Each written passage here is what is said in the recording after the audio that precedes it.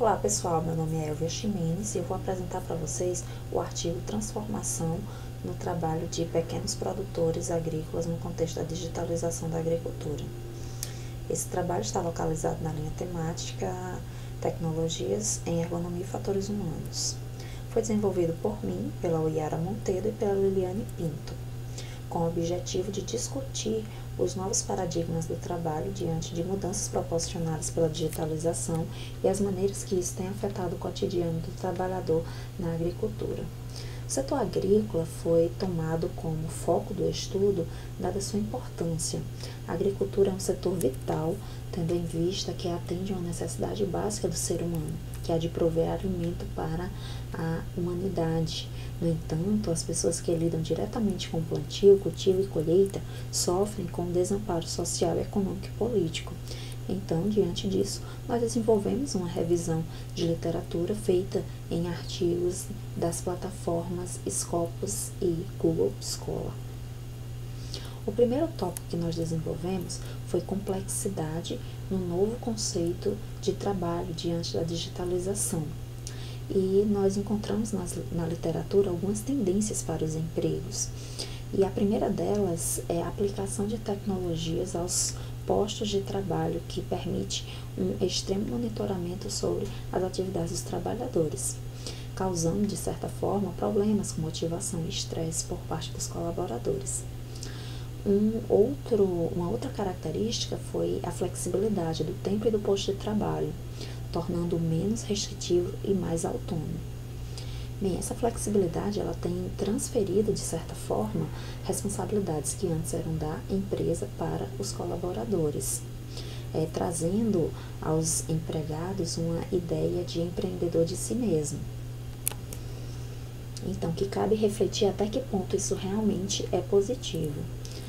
Um outro ponto a digitalização tem expandido o conceito de empresa para além da instituição do trabalho, ou seja, é, quando nós acessamos uma rede social como o LinkedIn, por exemplo, né, nós estamos a serviço da organização ou estamos em um momento de entretenimento. Né? Então, é algo a se refletir. As organizações incorporam um contexto, um conceito cada vez mais informal e temporário.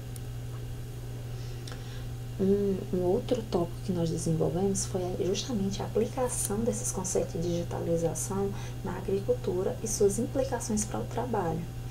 Então, com a chegada da digitalização às regiões de produção rural, né, também chamada de agricultura 4.0, é, de certa forma, neologismo vindo da indústria 4.0, né, nós é, identificamos pontos positivos e pontos negativos. Né? Em primeiro lugar, positivamente, nós podemos considerar que a, as condições de trabalho têm melhorado, uma vez que as intervenções manuais e repetitivas para pequenos serviços mecânicos não são mais tão necessárias. É, trazendo de certa forma um benefício ergonômico ao trabalhador. Porém, né, nós também identificamos alguns pontos negativos. Em primeiro lugar, a digitalização pode acentuar a desigualdade entre as regiões desenvolvidas e em desenvolvimento. A maioria dos agricultores não possui instruções suficientes para operar instrumentos tecnológicos, né, o que a literatura chama de analfabetismo digital. Falta a infraestrutura também para essas tecnologias no campo. E temos também um grande impacto social e cultural entre os agricultores, exigindo capacidades adaptativas para lidarem com as transformações tecnológicas de forma cada vez mais rápida. Os pequenos agricultores, além de ser os mais afetados por essa falta de infraestrutura, por essa problemática em geral, eles também são os principais produtores de alimento do mundo. Cerca de 80% dos alimentos cultivados são produzidos pela agricultura familiar, então não é um problema a ser desconsiderado. Diante disso, nós concluímos que a digitalização é uma realidade que está emergindo e tem apresentado uma série de incertezas, operando mudanças em diversos aspectos do trabalho. Além disso, ela revela questões que trazem à tona necessidades nunca antes sentidas, mas que são incorporadas ao cotidiano, tornando os seres humanos dependentes das tecnologias para sanar tais necessidades em praticamente todas as áreas da vida.